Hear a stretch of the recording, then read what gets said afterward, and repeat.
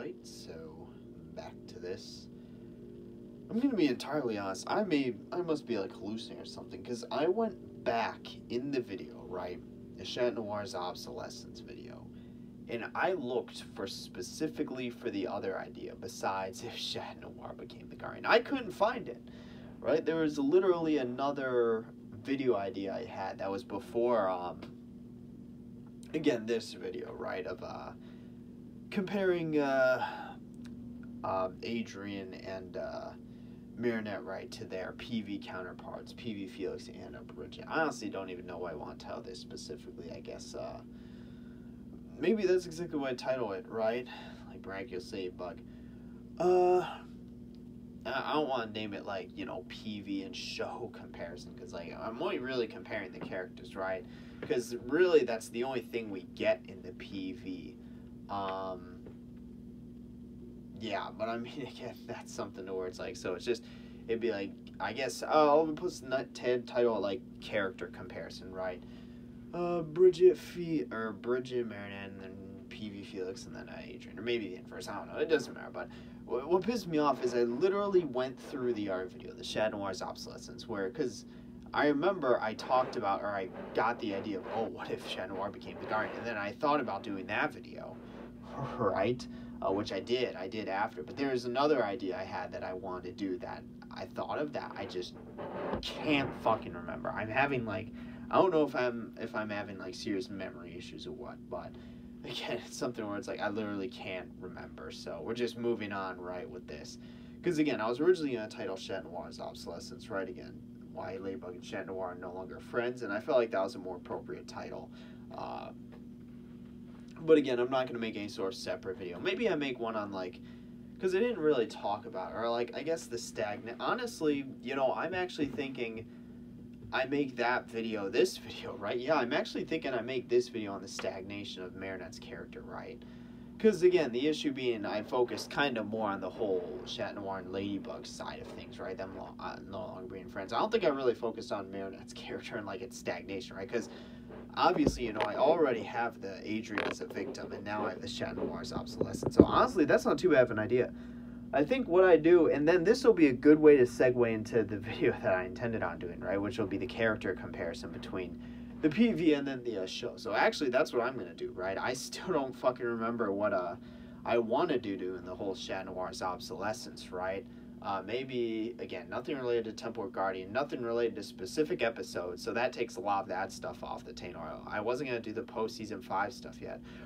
I know what I was gonna do. I think I was gonna talk about like the breakdown scene, but again, that's something to where it's like, yeah, I think I was gonna talk about that, right? Because that's, but again, I, no, I think it, it was something else, right? It was something else. Uh, Maybe it was again the very end. I don't, I don't know. But I want. I know. I since that one I focused more on him. I want to do this one now because this is yeah. I want to do this one. So that's actually what I want. What I'm gonna want to talk about, and that's gonna be a title of this, right? It's gonna be, you know, Marinette stagnation, right? Because again, you know, let, us put it this way, right? Season one very different from season four. Raise the question, how'd you get the rights? But anyway, moving on. So that's what I'm going to talk about, Marinette stagnation, because and this will be a good way to segue into these next coming videos, right? So moving on, right? Also, I know we get 40 videos in the place, which is nice, you know, a lot of these black screen videos, right? Uh, but again, right? Was it the? Dude, that's gonna piss me off because uh, I don't know if I'm having like legit memory issues or something, but who knows, right? Who knows? So yeah, at least in terms of that, right? Uh, you know, got a lot of these types of character videos. Uh, I guess focusing a lot on the characters, right? I suppose, which isn't something I really did earlier. I focused more. I guess earlier I focused with these earlier recordings. I focused more on the story, but now I'm focusing kind of more on the plot, right? Uh, bar a few ones, right? Like the quality control one, that's kind of like a separate video, right? Hawkmoth of the Future, I more so talk about that, right? Uh, yeah, and then the most of the time I talk, I guess, Crutch Power, deleted timelines, and then even the Wish is more about like a story. But again, right? I guess I don't know. I don't know. I, I think yeah, I think this is something to where it's like I I'm I'm just gonna rewatch that video from the beginning because I I started like because I, I, swore I brought up the end, but yeah, I'm gonna watch that video from beginning to end and then fucking figure it out. At least before Probably not, because again, it's 2.14 a.m. Probably not tonight, but whatever I record next, right? Also, I'm pretty sure you can hear us if I do that. I should stop. We're moving on, right? So, again, Marinette stagnation, right? So, first things first, right? I think we should stay, we should say and establish, right, that, you know, again, you know, season one is different from season four, right? And obviously, you know, what's it called, right? Arguably, you know, well, A, what am I even fucking saying, right? Marinette season one Marinette's different from season four, and then you know you can make the argument that our characters are different as well. Like also season one Adrien's different from season four Adrien, right? Difference being I already made two videos on Adrien, right? Again, as Adrien is a victim, right, and then Chat Noir's obsolescence, right? You know, obviously, Chloe's character is probably the one that had the biggest fucking change. It's literally like a parabola, shaped like a parabola, right?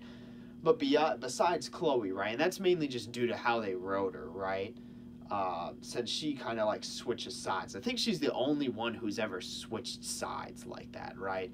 Like, I don't think anyone else has. Yeah, no one's worked for both Ladybug and Hawkmoth, right? No one's switched sides like that. Lila only worked for Hawkmoth. I guess Felix, arguably, but he's not really on anyone's side more so than just doing whatever for himself, right? So, again, Chloe, that's just due to her nature, right?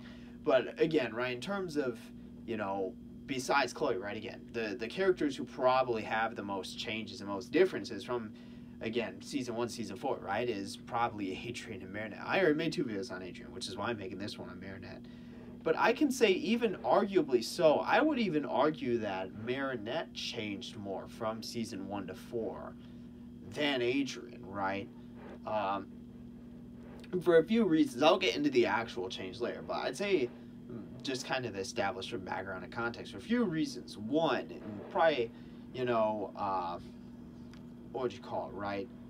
One, and I'd say the main thing is that, you know, most changes to Chat Noir, like Adrien Chat Noir, appear to be like story related, right? They they're kind of from the story, right? They're not like I like to make this difference between story and plot because people use them like interchangeably, right?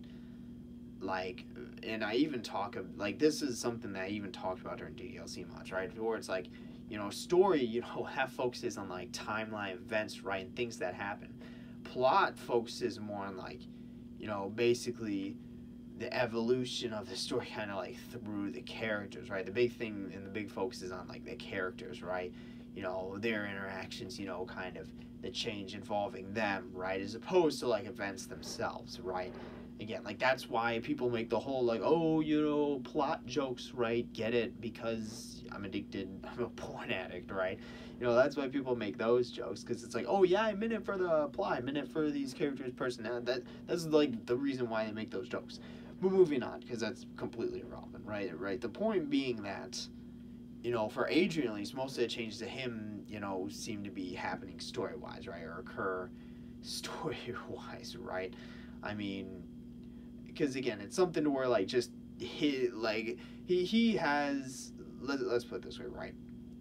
Again, he has a very busy life, right? You know, lots of things happening, lots of moving parts between not only him but like himself, his father, Natalie, right?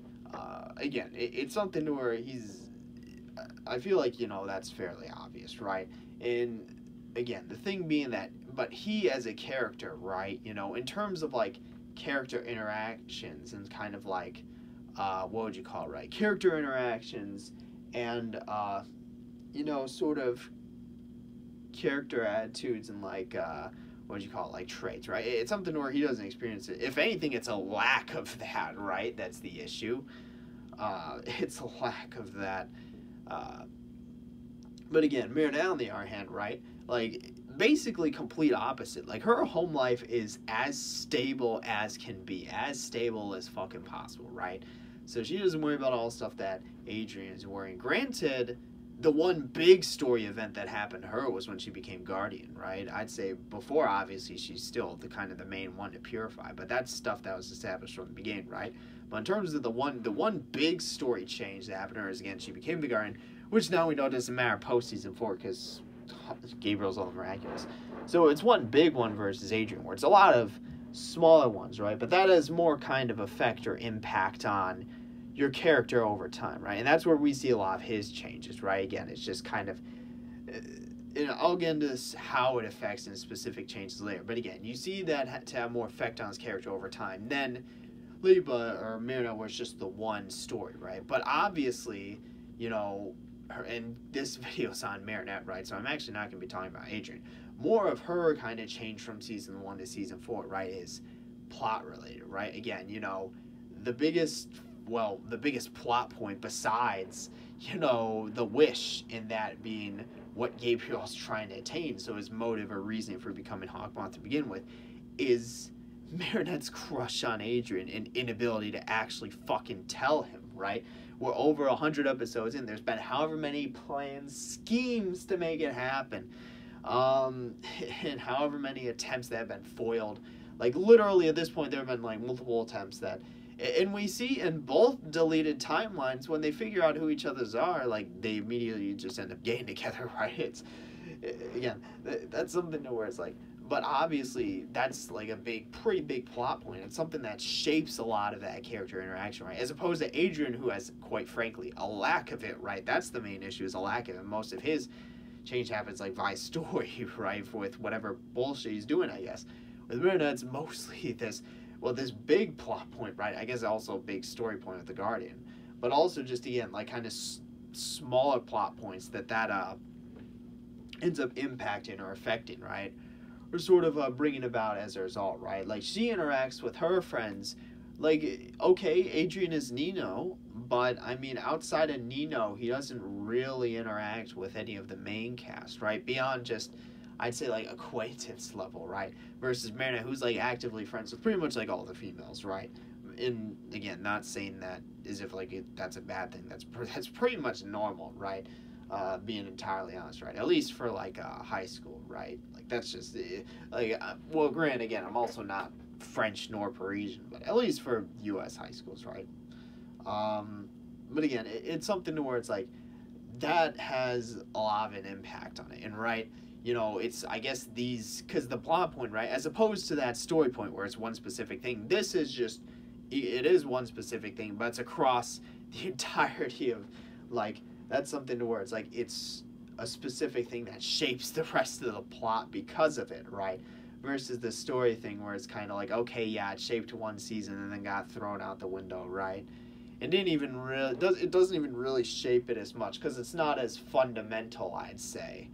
Uh, again, that's kind of besides the point. I, I wasn't here to like compare Marinette and Adrien. I'm kind of here to talk about our stagnation because Adrien, again, right? Like his thing, I established. It's more so like story events that happen right throughout the story, like little things, because because that's kind of the thing, right? He's constantly doing shit, right? You know, there's lots of story stuff with him, his father, Natalie, right? And it's the exact opposite of Marinette, who has a pretty stable home family life, right? And again, for him, the plot doesn't matter so much because again, the issue is he has a lack of character interaction, right? A lack of that kind of stuff, which I guess could shape in and of itself. But moving on, right? So, again, I feel like we've established that for Marinette. You know, it, it's something to where she, if not arguably more than Adrien, has changed more from season one to season four. And I it also it's not solely because of that plot point, right? That she's crushing on Adrien, but also again as Ladybug, right? You know that then that brings the whole love square into uh, into consideration, right? Because the, the whole fucking um, because of all those like, so, granted we don't see it as much later on, but all those character interactions, right, from each corner. But again, it, it's something to where it's like, yeah, we we see her in the given that that main plot point, the main plot element, her crush on Adrien, is the driving force for a lot of that character interaction. That's where a lot of her change comes from, right? So I felt like I've talked enough about that or made my point. So let's move on to like stagnation, right? And what I kind of mean by that. So what I mean by that, and specifically again, season like one to four, like first I raised a question of, you know, you know, clearly, you know, she's changed from season one to four, and I explained that, but stagnation one, what, what do I mean by that? So when we go back to season one, right? Well, granted, A, it may just be because season four is kind of bland overall in terms of a lot of that character interaction. That's kind of a lot of what season four is missing. But the thing is that again, and I talked about this actually in Chat Noir's obsolescence, and if Chat Noir became obsolete, or if Chat Noir became the Guardian is that the issue and main issue with Marinette's character is that she's anxiety and stress incarnate. Like that's literally just who she is, right? And what I said this leads to is it ultimately leads to most of her free time, or not even free time, but like manpower, like available, right, with whatever she's doing going towards Ladybug, right? As opposed to Adrien, who just kind of does it whenever he has time and then, you know, makes the post of it, right? Marinette's just constantly stressing, constantly worried, anxious about it. And then obviously, you know, when she's actually acting. But that's something where, again, like, we see this. I feel like the most, like, prime example, premier example of this is after, again, she reveals to Alya. And she's literally, like, has a chemistry lab, like, in a room or something. And Alya comes up and is like, you need to chill. Like, you're gonna destroy yourself, like burn yourself out doing this, which is funny enough exactly what happens. But it's something to where again, right? That takes a toll, and I mentioned that, and we can see that through her transformation, right? You know, that's where her stagnation comes in again, because she ends up so focused, right? You know, she ends up so focused to the point where she can't even follow through on this whole like plot point. She still hasn't told Adrien how she feels, right? I mean, that's like the biggest fucking thing. She hasn't even told Luka how she feels. right? It's at well, obviously he knows she likes Adrien, but he hasn't. She hasn't told her like basically, you know, oh, you know, I either do or don't, right? It's it's something to where it's like, in terms of that, right? Again, because because think about it, right? If this were normal, fucking well, if this were normal real life, right? You know, I guess she, like what what would happen is either she doesn't tell him how she feels, bites the bullet, and then move on, moves on, or eventually she nags her enough where she tells him, right? You know, obviously every time it happens in the show, it's through a medium that ends up getting neglected or like counteracted in some way, shape, or form. Or like, but like you just realize, but you just fucking walk up, right? You know, this this ain't my first rodeo, right? It's something to where it's like, you, like either you bite the bullet and then fucking move on, right? Or you you tell them like there's there's no middle ground where what's going on in the show, right? Because again, the issue with that is that's why we see her stagnation, right? Again, because she's still letting that eat away at her while simultaneously, again, putting all her manpower towards being Ladybug, right? Or reserve manpower, woman power, whatever you call it. Again, and then it's just something to where it's like the rest of her character gets like siphoned into those, right? Like I don't know how else to put it but basically she becomes kind of like a husk. Like I hate to put it that way or say it that say it or put that way. She comes like an empty husk kind of with these two things being the only thing on her mind, right? Like she may as well be like almost like a machine at that point, right? Where again, she, like I don't know to say like imagine like you lose like all I don't want to say color, but like brightness in your life, right? Like you lose kind of all the uh, uh all the color, I guess you could say that, right? uh, you lose all the brightness, right? You lose all the kind of like uh, you you you lose all the little things that make life like worth living, right? Like I hate to say it, that's almost kind of what happens to her again. She's been letting this this plot point has been eating away at her for four fucking seasons, right? You know, she's been constantly, you know, putting her power into uh, being Ladybug, right? Especially after she became Guardian. And again, it's everything's being siphoned into that, right? She's losing all the little things, right, that make life worth living, and she's becoming an empty husk, right? It's something to where the more it happens, the more it compounds. It's exponential, right? Like any, like the more she puts her manpower into becoming Ladybug, the more she notices the small like slip ups and the small like mistakes or errors that she makes. You know, the more she puts into kind of like again putting off you know dealing with the plot point right plot element of like how she views Adrien, right? You know telling him how she feels. The more you know she just ends up feeling that way right? You know because the more she thinks about like before telling him right the more she just feels that way towards him and then can't tell him because all of a sudden it's like that much bigger right? It, like again it's just something to where it, it's not like let's say well, it obviously it's an adverse thing, but it's not something to where it's like, uh, you know, what would you call it, right? Like Chloe's character degradation. It's not a degradation in the sense where, like, you know, again, she's becoming like just a worse person, right? And a worse character, right? She's bad moral compass. It's something to where again, it's just like I, I think stagnation is the best way to put it. To where again, it really does just seem like like all the little things are gone, right? Like it, it's gone. The the show's kind of moved beyond, right? Granted, season one had zero story or plot, so it could focus on that. But again, it's something where like as the seasons pass, like season two and then especially three and four, right? You know, you lose a lot of the little things, right? A lot of the little interactions, a lot of the little stuff that you know. Well, I guess if you were in the character, like experiencing that, like make life worth living by observing, like the little things that, you know, a character picks up on, and then again, like ends up enhancing their uh, character, right? Uh, but again, right? Like once you lose those, right? Again, it's just with just the two, again, right? Just the two uh, things, right? With her, again, the plot point of her not being able to tell Adrien how she feels, along with uh, especially becoming the guardian, but more so just spending time being Ladybug in general. Like those are just, and due to her personality, right, of being super anxious and stressed and like worried, right.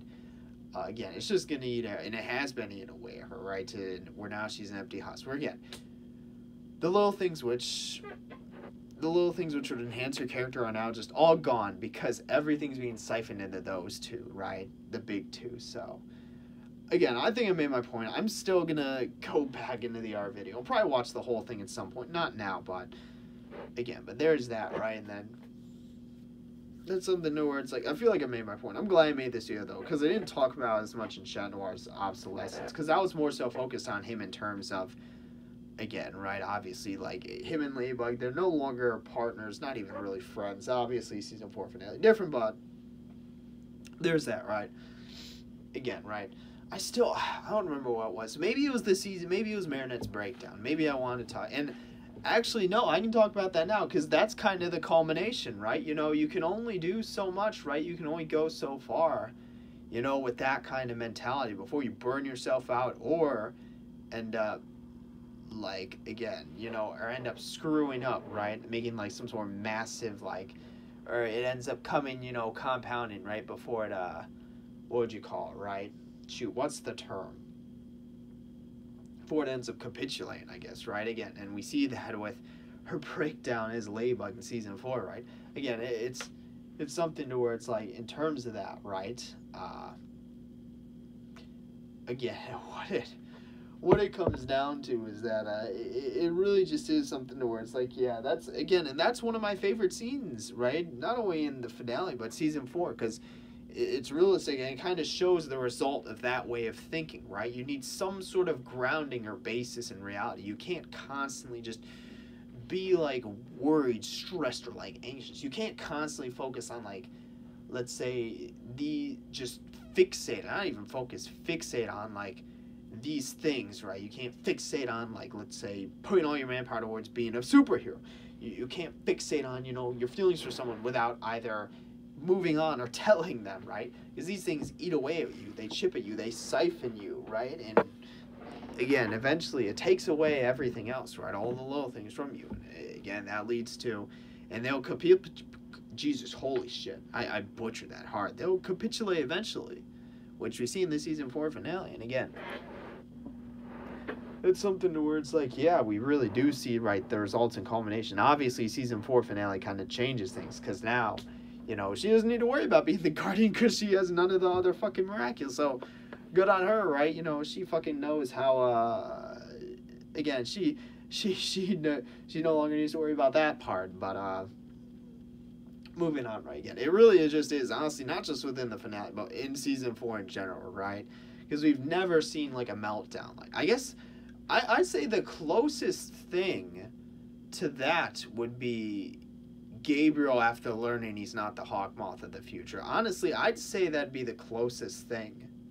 Like, that'd probably be the closest feeling or the closest thing. Ironically enough, I'm not sure, has Chat Noir had, well, obviously in Chat Blanc, right? Or in any, like, I'm not using the Leah timelines, though. I already said that in, actual timeline have we seen something similar? We've never seen him get a coup. He hasn't been kutized in the actual timeline.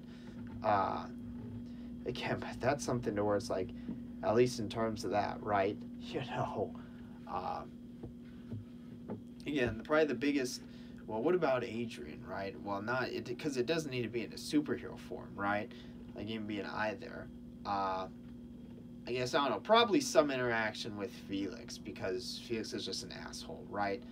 Uh, again, but again, the, I'm thinking the biggest thing we've seen similarly, right, was again Gabriel when he learned he wasn't the Hawkmoth of the future, right?